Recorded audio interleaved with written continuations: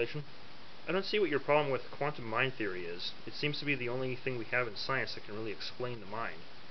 Um, there's like a number of reasons. I'm going to give five reasons for this. Uh, first of all, we have the Cartesian ego. We know that you know I'm an I, and of course we can't cut an I in half, so therefore logically this concludes that whatever the I is made of has to be fundamental, and so therefore if we were to assume that everything in the world is made of one substance and we don't sort of default to substance dualism, then automatically, you know, the, the mind has to be something that is fundamental in the physical as well, which automatically brings us to quantum mechanics since that's the most fundamental thing we have.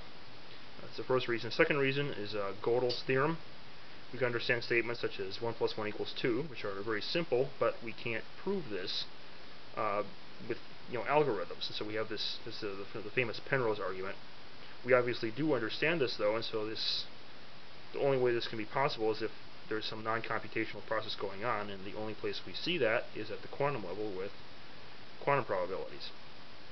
Third one, and this one should be, this is pretty obvious, is holonomic brain activity. Uh, you cut like a brain in half, you could take one hemisphere out, they do this with epileptic patients, and assuming that it's just, you know, chemical activity only on a classical scale, there would be no reason, we, we would automatically assume that cutting one half the brain out, you'd have random memories disappearing just all of a sudden, and that's simply not the case. It's the, the memory is spread out non-locally, which is, you know, non-local behavior is quantum mechanical in nature.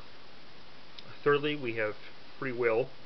This also requires non-computable behavior, or pure randomness, and um, the only place we have that is at the quantum level with the Heisenberg uncertainty principle and the probability wave.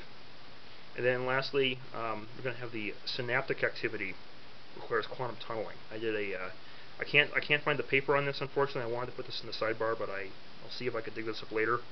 However, it requires um, syn uh, synaptic activity requires quantum tunneling in order to work.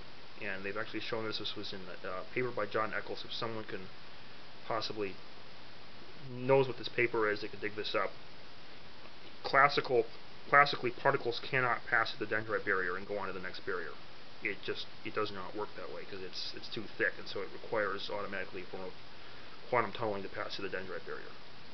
So now these are pretty obvious. I mean, these are I don't know how you could explain any of these things without using quantum mechanics. Now I'm going to comment here about kind of the motivation behind this is behind opposing many quantum mechanics quantum mind theories is not science at all. It's uh, eliminative materialism in uh, philosophy.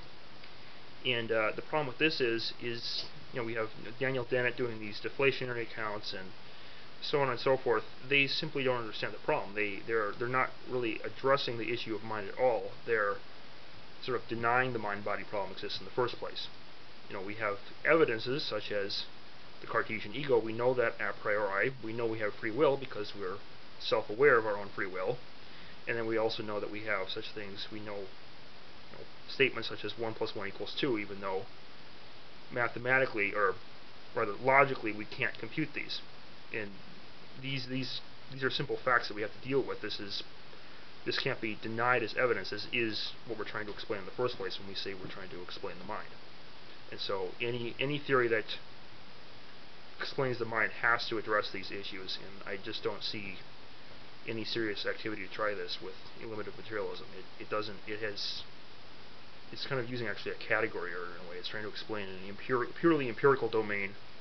Granted, science is empirical, but it has to, we're doing with, trying to study the mind with science, we're going to have to have something that's going to overlap with the philosophy domain and, you know, work with both, be, be compatible with both philosophy of mind and neuroscience. And eliminative materialism simply doesn't do this. It, it just sort of denies that there is a a mind-body problem really, and then ignores half the evidence.